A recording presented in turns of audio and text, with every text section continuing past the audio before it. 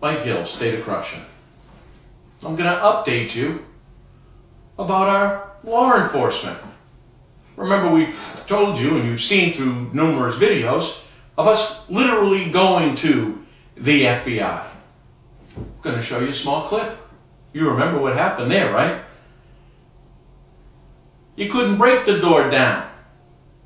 Right. The parking lot's full of people.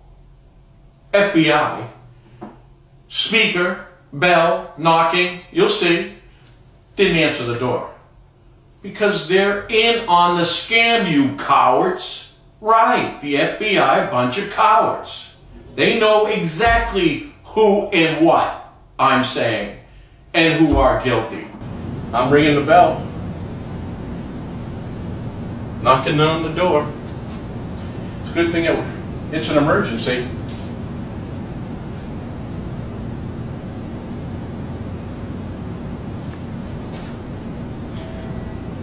Is there somebody there?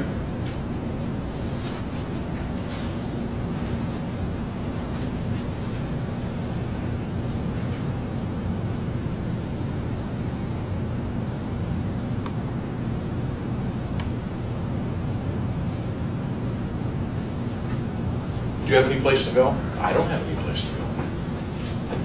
We're gonna mess you up, we're gonna be working out here. Should we give you some time? Excuse me? Should we not be? Oh, you can go by. No, we're actually gonna be working right here, is that okay? Is that gonna be bothering you guys? Uh, if you just give us a minute, we're just hoping them to open their door. Okay, yep. Right. Something about reporting crime. They ain't like, they don't like it. Hello, is there anybody from the FBI here? We've got a light, folks.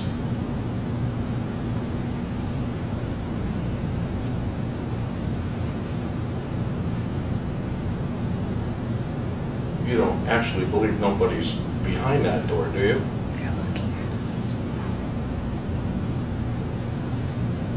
So is it, you're just listening? Well, if you are listening, I have a package that will help solve our heroin crisis in the state.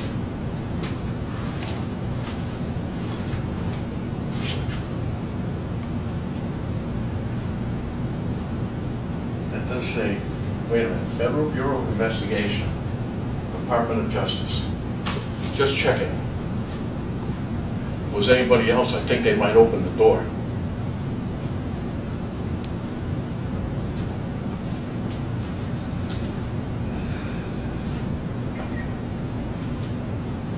videotaping me.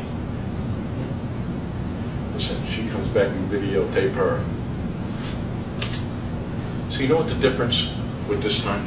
If you remember the last time, they were waiting for me. You know why they were waiting for me? Because they had moles in the company that were telling them I was coming here. See, we don't have any moles anymore. You know how I know? Because they didn't know. And that's why they won't open the door.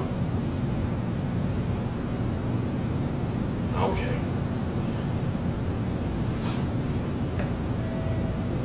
This is Mike Gill, running for governor. We went to the DEA. We'll show you a small clip with that. Never heard of me. Really? I just sent you a package two weeks before, and two weeks before that. And within two miles of your office, a big sign that said drug dealers and telling you who they are. Right. See? They were told not to talk to me as the FBI. See? Do me a favor, turn that camera off so we don't have a problem. I don't want to have to have Bedford PD come. Just let's talk Why? first. I have no idea who you are. Mike Gill, Oh. Running for governor. Okay. State of corruption. All right. You know who I am. No, actually, I don't. No, Put- do, is it by camera- law we have to shut this off? No, I'm asking you as a gentleman. No, I'm keeping it on Okay. as a gentleman. All right. All right? I'm asking you to leave the property, okay? I don't know who you oh, are. Oh, here's the show me any package. ID. Here's the criminal package. Okay. Get the tape, Cole.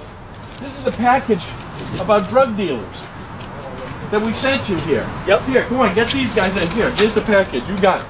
Now we mailed it. See that he gets it. See who gets it.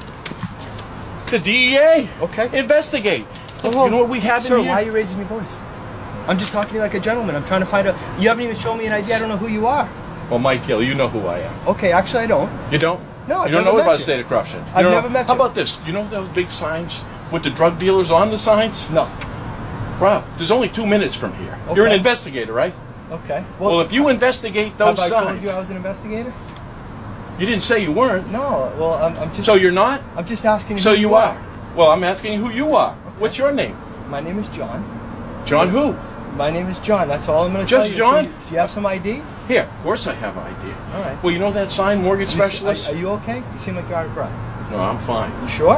Are you all right? I'm fine. I'm just All trying right, to figure here, out what's going on. Here's my license, right? Mr. Gill? Gill. Yeah, Okay. and Mike Gill. Okay. Running for I, governor. What can I help you? Well, see, we mailed that. You see that address right there? Right here. That's you, isn't it? Yeah. Okay, good. You got a package. Here's and then the drug task force people sent me a letter saying, hey, Bedford Police Department. Right. And so the Bedford Police Department invited me over. Right. Well, originally it was Chief Bryfonski. You're going to see a chart I'm going to post on Chief Bryfonski of the Bedford Police Department. You'd be interested to know that this guy, five, six years ago, was in charge of two to three hundred investigators of the DEA throughout Mid Atlantic, Delaware, Pennsylvania. Right, the DEA. Now he's going up all the way to Bedford. And you can see how our heroin problem spiked. And you know what? They opened up the same DEA office in Bedford too at the same time Bryfonski come up here. This is the cover team, folks. Since they got here, we're up, I don't know, 5,000%? Nice job. Well, I went to see them. Confidential meeting. Bryfonski, no, no, he didn't want to see me. In fact, he even said Lieutenant Michael Griswold. That's who we were to see. Oh, no, no, Griswold's not around. We got a Sergeant Mahoney and an asshole named Skip. Right.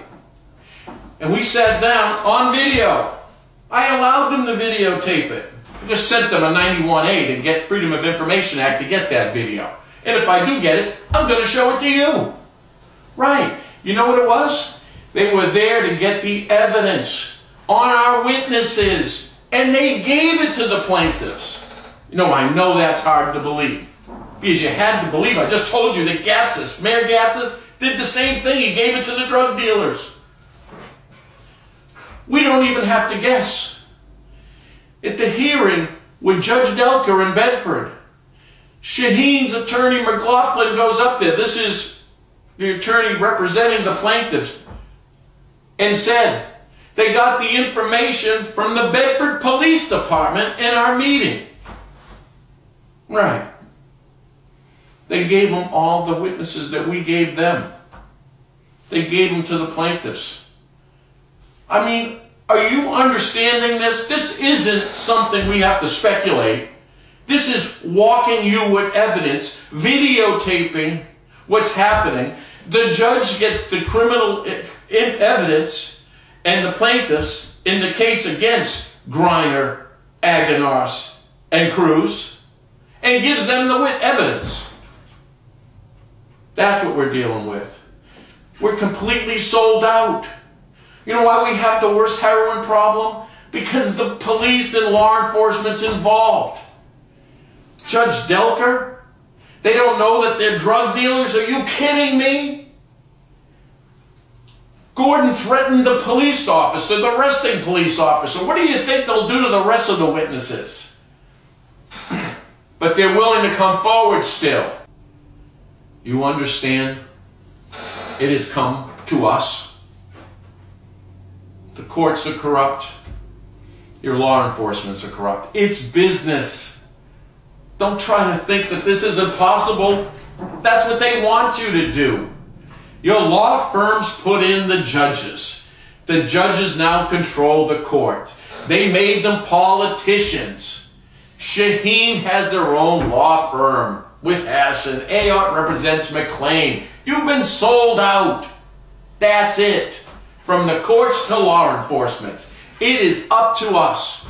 Like I said, we are going to become a watchdog group. And if we're not, it's over. Right. you will never have justice. Never. You are a victim that's only going to get worse. We're going to have more deaths. We're going to have more corruption because they're completely unchecked and there's no one to go to. Look around. Isn't that what we're hap- happening right now? I showed you that. The only option we have is to collect ourselves together as an entity that turns around and watchdogs these people and say you're corrupt and we take those candidates out. We insist with 30,000 of us that a judge gets recused. You see? It's up to us. And if we don't do it here and now, you lose, and so do your children. There goes your future. They'll send an 18 year old to his death. Mike Gill, State of Corruption.